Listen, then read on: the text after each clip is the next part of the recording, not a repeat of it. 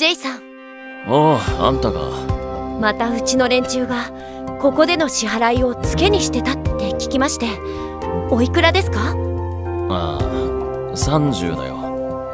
わざわざ大変だなあんたも 30?30 ですよね。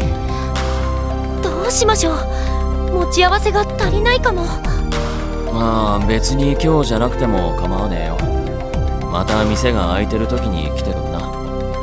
そうだ。代わりに働いて返させてください。いいのか？なんか悪い気もすんだいいんです。そうと決まればそこもっとお皿を重ねてください。調味料は奥に詰めて。具材は足りてますか？